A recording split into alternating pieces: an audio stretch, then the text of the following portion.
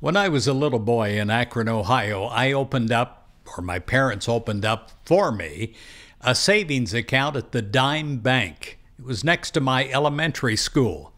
And I probably drove them nuts. I would go in every day with a penny or so from my milk money. And even my parents were surprised at how much my money accumulated. Well, I pray as a savings account accumulates, that God's good accumulates and multiplies in your life. I pray that there is a interest that is coming, that is uh, something that you can rely upon, a nest egg of faith that you can call upon. I pray that God multiplies the good that you already have in your mind that you literally use your seed faith, uh, the grain of a mustard seed, small faith, that touched with God's good will multiply and quadruple and grow. I pray that you're touched in that way today. I pray that everything accumulates in you. Your faith of yesterday and last week, it grows and it multiplies.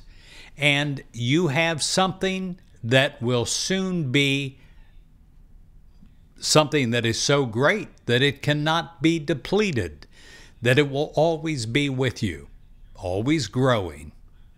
I pray in the background, even when you're not realizing it, not focused upon it, that your faith is growing and that the faith of God comes through you.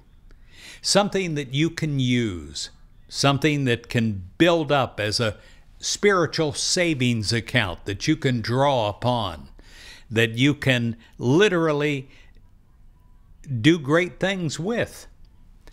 I pray that God blesses you with this accumulative good, and I pray that it changes you at depth I pray that your mind accumulates faith, it accumulates belief, it accumulates positive thinking, and then touched by God, it grows in quantum ways. I pray that the health in your body accumulates, that it grows, that yesterday's health is multiplied upon today's health, and it grows into something magnificent, better than you have ever been. I pray that the good that you do in your business, in your personal relationships, that it multiplies, that it grows.